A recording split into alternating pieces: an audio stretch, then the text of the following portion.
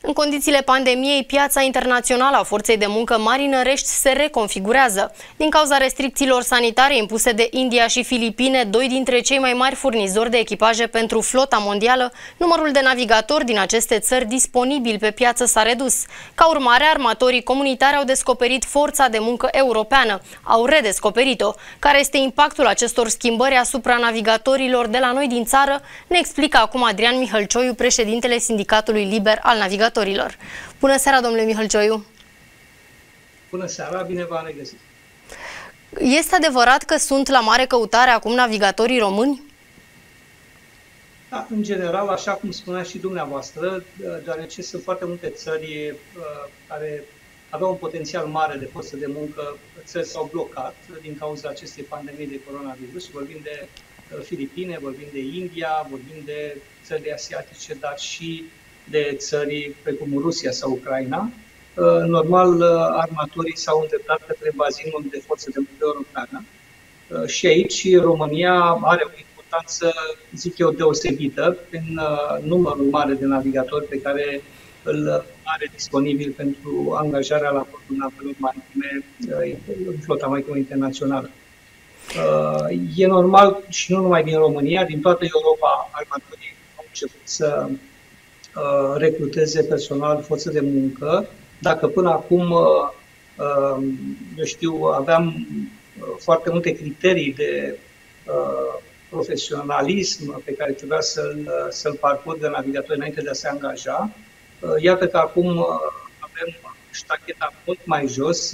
Practic, forța de muncă românească este căutată ca și, ca și cea din celelalte țări europene Uh, foarte mult decât armatorii europeni. Știm foarte bine că pe plan mondial uh, Europa deține o capacitate de peste 40%, uh, mai exact 45% din tonajul brut internațional și navigatorii europeni sunt cam în procent de 15-20% pe aceste nave. Deci, iată că sunt, era o forță de muncă deficitară, să spun așa, navigatorii europeni erau mai puțini decât uh, trebuiau să fie pe acele nave și pentru că Europa este foarte deschisă schimburilor de echipaje, știm foarte bine că în Europa practic se pot face schimburi de echipaje, avem recunoscuți navigatorii ca și lucrători cheie în, în transportul uh, internațional, uh, practic au făcut armatorii să-și îndrepte atenția către acest, uh, această nouă uh, și veche totodată uh, vechi, acest nou și vechi bazin de forță de muncă și avem uh, rezultate palpabile și notabile. Au început armatorii să plătească chiar și uh, școlarizarea unor studenți. Aici, a, asta uh, voiam să vă întreb. Au început iar să fie căutați cadeții care de obicei își găseau mai, mai greu voiaje?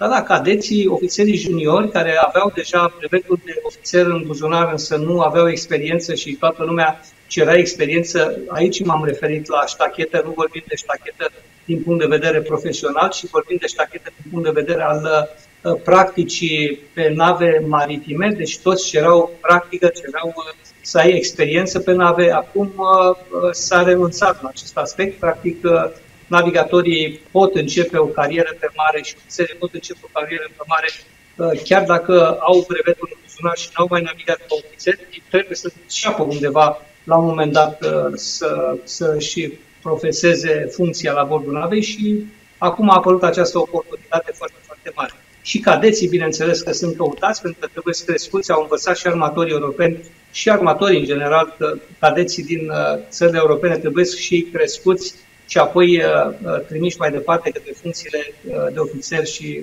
junior și ofițeri senior. Deci, iată că avem o altă așezare a forței de muncă internaționale. Domnule Mihălcioiu, dacă ne gândim puțin la viitor, la viitorul apropiat, să spunem că numărul cazurilor de coronavirus va crește și situația se va înrăutăți, cum vedeți dumneavoastră viitorul în ceea ce îi privește pe, pe navigatori, cel puțin aici, în zona Europei? Se vor putea face schimburi mai ușor decât atunci când am avut uh, stare de urgență sau cum vedeți viitorul? Uh, cu siguranță pot să vă spun acum că Europa nu se va mai închide pentru navigatori. Uh, vor fi probabil uh, probleme uh, în ceea ce privește călătoria și aici vorbim de cursele aeriene, vorbim de posibilitatea de a ajunge într-un aeroport sau într-un port european dintr-o țară comunitară.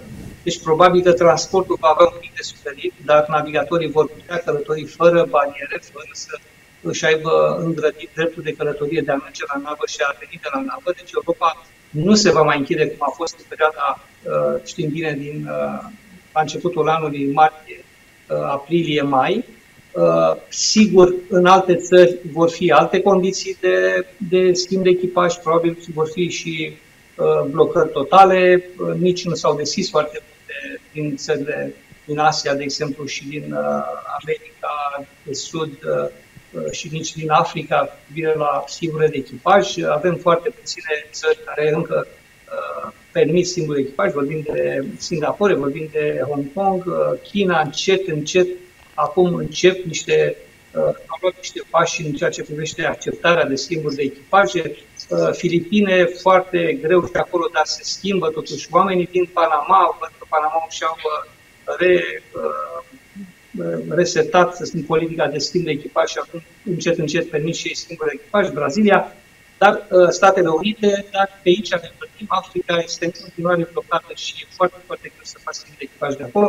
Uh, încă nu s-a rezolvat problema echipaj. Au fost, uh, știu foarte bine, la ora asta sunt 300.000 de navigatori blocați pe nave de cei care au contracte deja prevăzute odată față de contractul inițial puteau fi 500 de mii dacă Europa nu se deschidea. Deci, practic, acest, acest gap, această diferență de 200 de mii de navigatori s-au schimbat prin, datorită faptului că Europa s-a deschis, s-a mai deschis puțin și Egiptul la forța aici și iată, avem totuși o cât de cât mică ameliorare, dar nu o rezolvat de prin această Adrian Mihălcioi, mulțumesc tare mult pentru acest interviu.